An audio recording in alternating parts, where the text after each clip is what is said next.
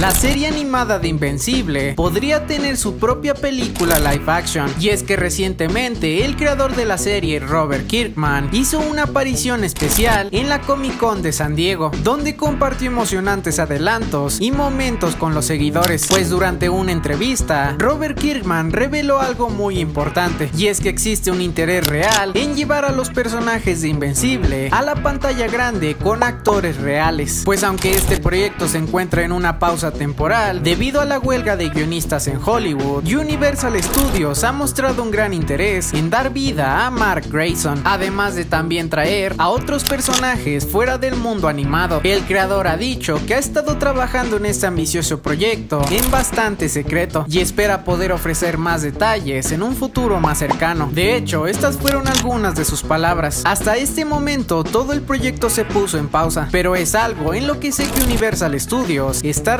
muy interesado y es algo en lo que hemos estado trabajando detrás de escena hasta este momento. Podré responder esta pregunta de una manera más responsable en algún momento en el futuro, pues como ustedes saben, con las huelgas y todo eso, todo el mundo está haciendo un gran esfuerzo para asegurarse de que las generaciones futuras puedan trabajar, prosperar y sobrevivir en esta industria. Por otra parte, hablando de la segunda temporada de Invencible, el creador nos ha hablado de algo importante, pues en la primera temporada Mark